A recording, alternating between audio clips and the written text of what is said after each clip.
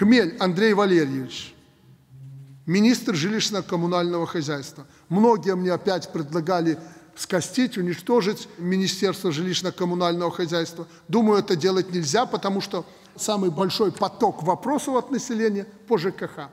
Но ЖКХ не может быть в этом состоянии. В ЖКХ должен прийти хозяин. Кто он? Председатель райисполкома.